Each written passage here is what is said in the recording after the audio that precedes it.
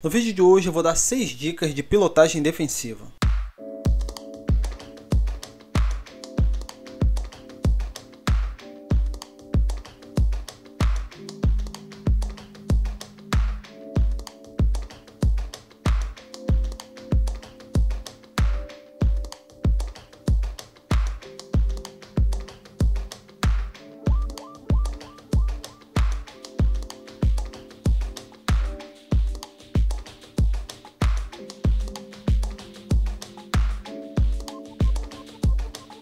Olá pessoal, tudo bem? Meu nome é Eduardo, sejam bem-vindos ao canal Brasil em Duas Rodas. Um canal para você que é amante do motociclismo, não importa a cilindrada da sua moto, não importa onde fabricação da sua moto, não importa a sua idade. Se você é amante do motociclismo, você está no canal certo. Esse vídeo de hoje foi feito para alertar você da importância da pilotagem defensiva. Então já se inscreve no canal, deixa seu like, ative o sininho para receber notificações, deixe seu comentário. Como eu sempre falo, o comentário de vocês fomenta vídeos bacanas como esse aqui. A sensação de liberdade e prazer de pilotar uma moto, ela é indescritível. Só que esse prazer, ele é proporcional ao perigo que é trazido. Uma reportagem do jornal Globo, eu vou deixar o link dessa reportagem aqui na descrição do vídeo, mostrou que morrem por ano cerca de 12 mil motociclistas vítimas de acidentes de trânsito no Brasil. 12 mil é muita gente, cara. Isso sem contar outros inúmeros acidentes em validez permanente. Por isso, no vídeo de hoje, eu quero falar sobre esse assunto tão importante que é a pilotagem defensiva. Antes de mais nada, você deve estar se perguntando o que, que é pilotagem defensiva. Vou explicar para vocês. Pilotagem defensiva nada mais é do que um conjunto de técnicas que você vai utilizar no trânsito a fim de evitar acidente. Isso vai ocorrer independente das ações que estiver ocorrendo ou dos outros usuários da via. E aí a gente entende como fator de situações adversas qualquer situações que possam te prejudicar, como por exemplo, baixa iluminação, tempo ruim, asfalto prejudicado, trânsito intenso, outros veículos, carro, caminhão, moto, mobilete, enfim, e também da ação dos outros motoristas ou motociclistas. A pilotagem defensiva é dividida basicamente em seis aspectos: prontidão, observação, conscientização, antecipação, planejamento e controle. Se você quer saber mais sobre cada um desses seis aspectos, eu indico o livro do professor e motociclista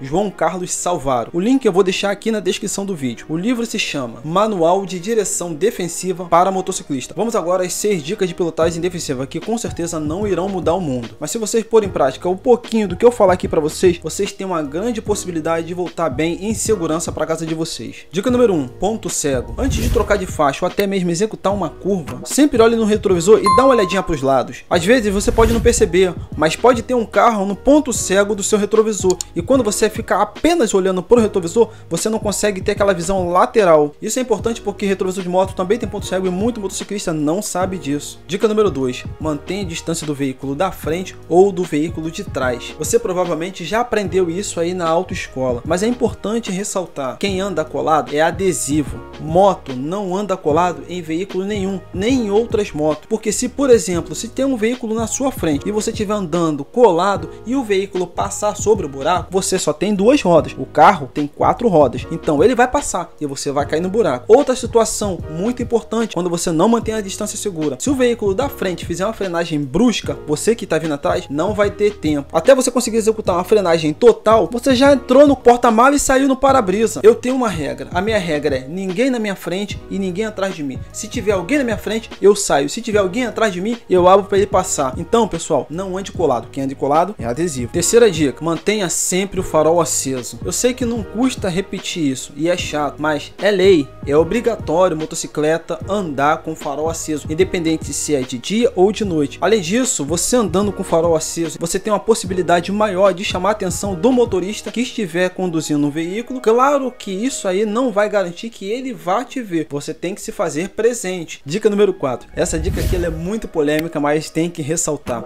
Buzina. Pessoal, a buzina ela deve ser sempre para alertar o veículo que tiver à sua frente ou na lateral ou próximo de você que você está se aproximando, que você vai fazer uma ultrapassagem ou que você está no local e precise ser visto.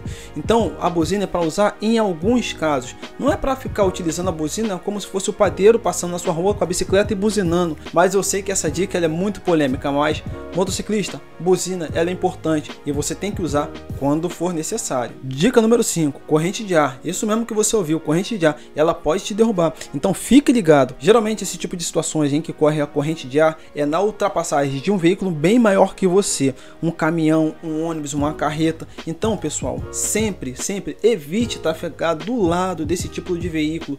Sempre esteja bem à frente e nunca, jamais ande colado com um veículo desse e nem nem ao lado. Se algum veículo desse for executar uma ultrapassagem, então você abra bem espaço para ele, para que ele possa seguir tranquilamente, porque esse veículo, por ser um veículo maior, eles deslocam uma quantidade de ar muito grande e dependendo da condição da pista, você pode cair. Dica número 6, capacete. Pessoal, capacete não é cotoveleira para andar preso no cotovelo. Capacete salva vidas. Se você estiver pilotando a 5 km por hora, eu disse 5 km por hora, você tiver uma queda, bater com a cabeça, você pode morrer, você sabia? Então, capacete salva vida, pessoal. Pilote sempre com capacete, porque acidente você não sabe quando vai ocorrer. Então, se você estiver bem equipado, protegido, não vai garantir que você não vai sofrer um acidente, mas a probabilidade de você, pelo menos, não morrer, é grande. Agora, de nada adianta você seguir todas essas dicas se a manutenção da sua motocicleta também está deficiente, está deficitária, não está em dia. Por isso eu vou deixar aqui na descrição do vídeo o meu e-book gratuito, Guia Básico para Manutenção em Motocicleta. O link vai ficar aqui na descrição do vídeo, é só você descer lá, baixar o e-book, é gratuito para você. Pessoal, se você gostou do vídeo, se inscreve no canal, deixe seu like, ative o sininho para receber notificações e deixe seu comentário. Como eu sempre falo, o comentário de vocês é importante porque fomenta vídeos bacanas como esse aqui. Então até o próximo vídeo, fica tudo com Deus e um abraço.